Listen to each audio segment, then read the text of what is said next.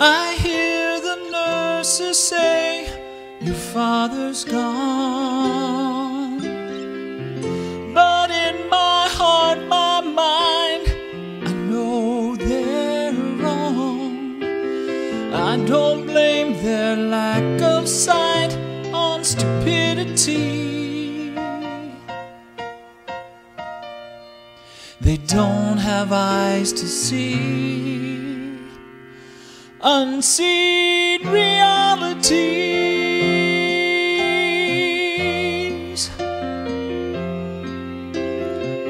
I hear some preachers say the gift is gone,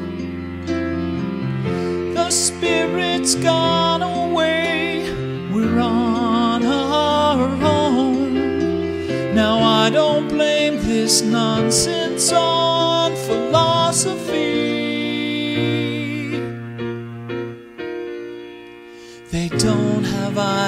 see unseen realities.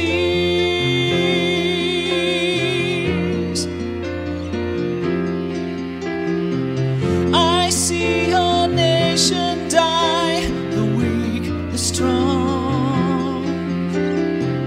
I hear a people cry, all hope is gone. Now I don't blame this lack of sense on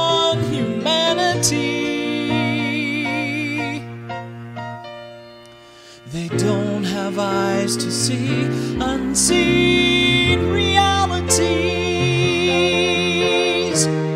Above an angel sheds a tear over a child's deepest fear. Somewhere a child who lost his sight just saw the light for the first time in his life.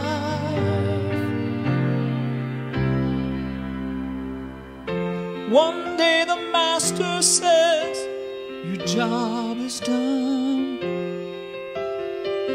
The work's complete, good job, my faithful son.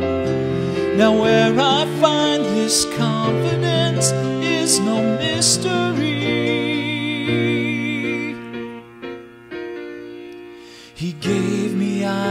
see unseen reality. I don't know. The, the older I get, the, the, the more attractive death becomes. Now, I, the, the process of this heart stop beating and my lungs start breathing, stop to breathe air, and the thought of physical pain that might come to my consciousness as the spirit leaves this body.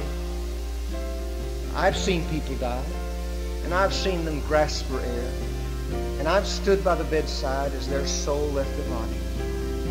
And I'm not, I'm not saying tonight that I long for that experience, and I know God's going to give me dying grace as He's given me living grace.